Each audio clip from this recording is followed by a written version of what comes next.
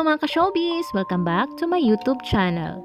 Naging mainit ang pangalan ni Flo G at Skasta Klee sa nakaraang linggo dahil sa kontrobersyal na kanta na di umano kinopya sa kanta ng K-pop group na BTS. Nagbigay na ng pahayag ang XB management tungkol sa nasabing issue. Ayon dito ay magkaiba umano ang dalawang kanta pero magkahawig ang tunog. Magkaiba din daw ang beat at chords na ginamit.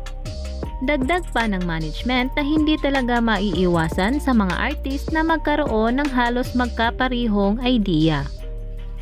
Nilinaw din ng management na si Skasta Klee ay walang partisipasyon sa nasabing kanta dahil si Flo G lamang ang tanging nag-perform at gumawa ng lyrics at ang producer ay si Flip D.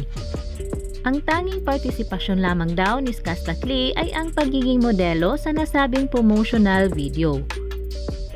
Humingi naman ng paumanhin ang reporter ng JME News sa ex-battalion member na si Skasta Klee dahil sa maling pagpapahayag ng impormasyon patungkol sa nasabing issue.